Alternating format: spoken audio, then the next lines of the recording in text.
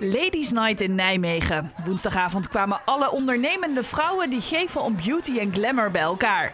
De onderwerpen waarover ze werden geïnformeerd tijdens een gezellige vrouwenavond waren fashion, body, hair en beauty. Er was de hele avond een DJ onder de naam DJ Forest Funk. Er was van alles te doen. Je kon bijvoorbeeld jezelf laten fotograferen voor de Wall of Fame van Jacco Otte. Er was een cosmetisch arts aanwezig met info en advies over fillers en botox. En verder kon je jezelf vereeuwigen door een bekende illustratrice Maria Lies. Tegen het eind was er nog een loterij met veel prijzen en voor iedereen was er tot slot een goodiebag te krijgen.